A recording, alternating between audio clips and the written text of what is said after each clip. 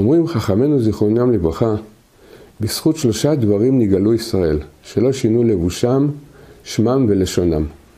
לכאורה, מה הם עשו? רק לא שינו את השם, את הלשון, המשיכו לדבר בלשון הקודש, לא שינו את הבגדים. לכאורה זה דברים קטנים. אבל כשבשעה שעם ישראל, או אנחנו נמצאים בתוך הגלות, כל דבר קטן שיהודי עושה, עולה למקום מאוד מאוד גבוה. לפני מספר שנים הלכתי לנחם ידיד שלי שאבא שלו נפטר. והוא, בשבעה, הוא סיפר לי את הסיפור הבא. לפני עשרים שנה עלינו מארץ אה, קומוניסטית, ואבא שלי מאוד, היה אדם שמאוד מאוד מוכשר והצליח מאוד.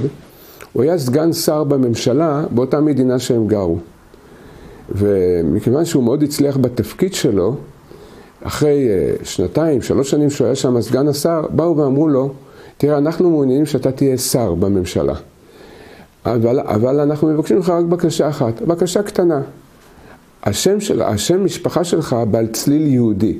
אנחנו מבקשים שתשנה את השם משפחה. לא אכפת לנו שאתה יהודי, תישאר יהודי, ת, אה, תעשה מה שאתה רוצה. רק את השם, תשנה את השם שלך. מספר לי ידיד שלי שאבא שלו חזר הביתה וסיפר את זה לאימא שלו, והוא אמר לה, אני לא יודע למה, אבל בלב אני מרגיש שאני לא רוצה לשנות את השם שלי. למעשה, סיפר לידיד, המשפחה שלהם כבר כמה דורות לא היו שומרי תורה ומצוות. לא היה להם שום קשר עם היהדות, שום קשר עם מצוות, עם תורה, עם אמונה. מה ביקשו ממך ממנו בסך הכל? רק תשנה את השם שלך, יש לך שם בעל צליל יהודי. לא התאים להם ששר בממשלה יהיה בעל שם שיש לו צליל יהודי. זה הכל. אמר האבא לאימא, אני מרגיש שאני לא, לא רוצה לשנות את השם. הוא חזר אליהם ואמר להם, אני מוכן להיות שר, אבל אני לא רוצה לשנות את השם שלי.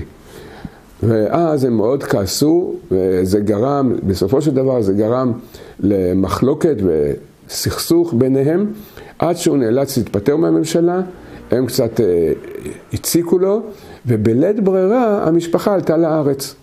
הידיד שלי זה בן יחיד להורים, בן יחיד. הם עלו לארץ, פה בארץ הוא התחיל לעבוד, האבא מוכשר, הצליח, הבן גדל וחזר בתשובה. הבן חזר בתשובה.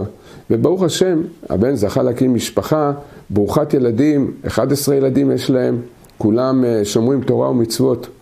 אמר לי הידיד שלי, תראה, כל מה שאבא שלי בעצם לא הסכים לעשות זה רק לשנות את השם שלו. מה הוא זכה? אם אומר, אם היינו נשארים באותה מדינה, בפשטות לא היינו נשארים יהודים. חיינו שם כל כך כמו גויים, עם הגויים, ועוד מוכשרים ומוצלחים הם בין הגויים. בפשטות הוא אומר, אני לא יודע אם הייתי, מן הסתם לא הייתי מתחתן עם יהודייה, לא היה נשאר זכר ושארית למשפחה. בזכות זה שהאבא לא רצה לשנות את השם, האבא זכה שכל הצאצאים שלו, כי הבן זה בן יחיד, יש לו 11 ילדים, ברוך השם, יש כבר נכדים, כולם שומרים תורה ומצוות, חלקם אברכים, בני תורה. על מה הוא זכה? שכל כל, כל זרעו יהיה יהודים, צדיקים שומרי תורה ומצוות, הכל בשביל, בגלל נקודה אחת. הוא לא מוכן היה לשנות את השם שלו.